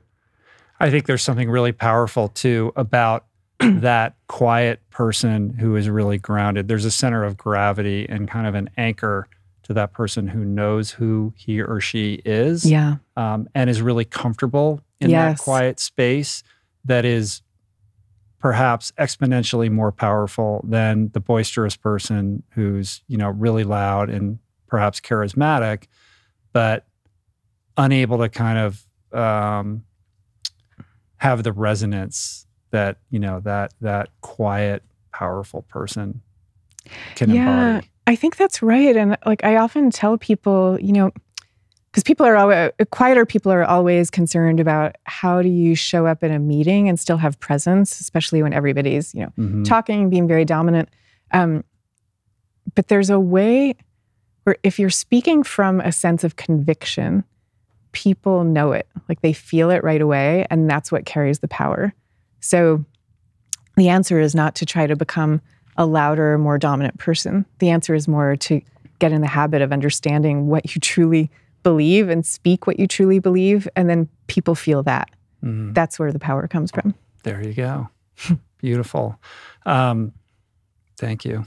Thank really you. Great. No, I appreciate it. Uh, the work that you do and the wisdom that you share with the world is is really powerful, and it's obviously changing millions and millions of people's lives. And um, I think these are really important topics and subjects um, that previously perhaps we were too afraid to talk about, and you've made it a thing. And I just wanted to publicly thank you for that, oh and oh can't gosh. wait to see see what you do next. Well, thank you so yeah. much, and such a treat to get to meet you in person. And I just love the work you do. So thank you. Thank you. The pleasure and the honor is mine. so come and talk to me again sometime. I would love it. Cool. Peace.